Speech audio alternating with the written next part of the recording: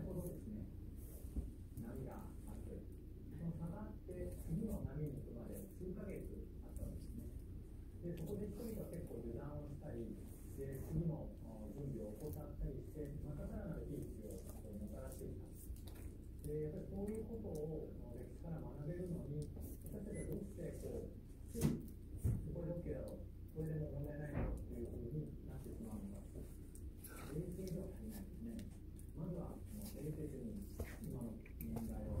大丈夫ですか？